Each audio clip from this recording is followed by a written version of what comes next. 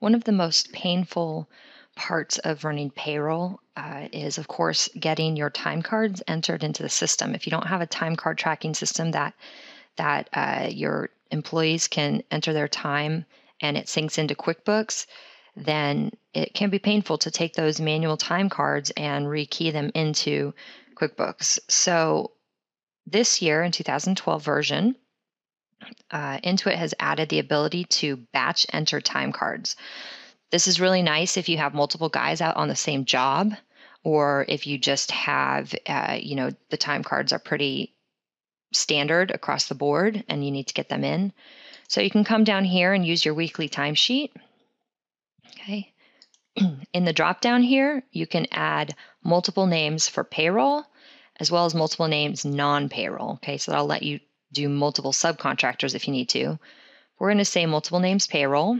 It's going to pop up a list with all of your employees. So we'll go ahead and do for Jamie and for Joe.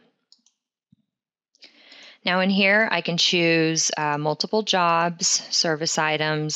So we're going to say labor, your payroll item, any special notes, the class, okay, and then we'll say they worked eight hours on this day, and then on the next line, we're going to do a different job, labor, hourly, started job, okay.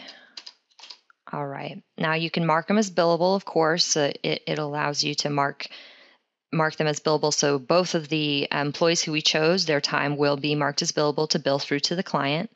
I'm going to go ahead and say save and new here. So now when I go back in and look at Jamie, Jamie's time card, you can see here that it has all the information that I just created. And then if I look at Joe's,